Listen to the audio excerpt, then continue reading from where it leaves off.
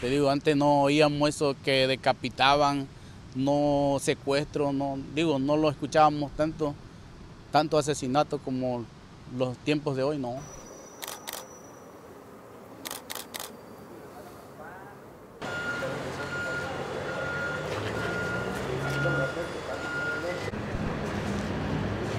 Pues en los últimos años se ha incrementado la violencia en México al grado de que ya es parte de nuestra propia cultura. Nosotros hemos ya eh, hecho apología del delito. Nosotros hemos idolatrado incluso hasta los mismos delincuentes.